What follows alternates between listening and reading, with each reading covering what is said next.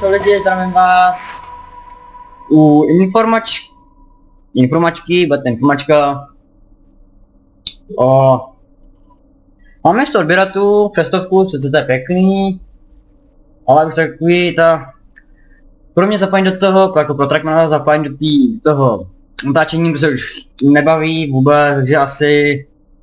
Asi určitě s tím končím, ale to bych chtěl vydat no nejdřív, to je jasný, a nevím kdy to bude, možná za týden, to blbost.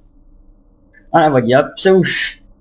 Ne, když se jako to, zapojím do toho byl, protože bavil mě to takový, ale teď mě to nebaví, takže nebudu se nutit do nějakého něčeho, abych a ne, abych tam se nutil hrát nějakou hru, to či ne, takže toto bude možný oficiální konec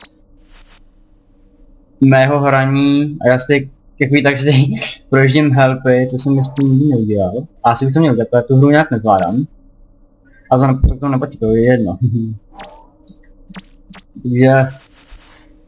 No pak, jak, jak jsem říkal, zapál, zapálení do toho jako hrát to, jako hry hrát hell, nebaví, to je jasný.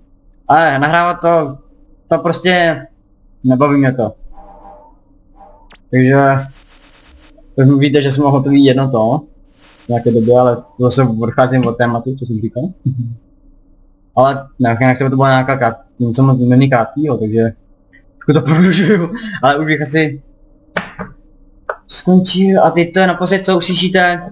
Adios. Takže ještě jednou adios.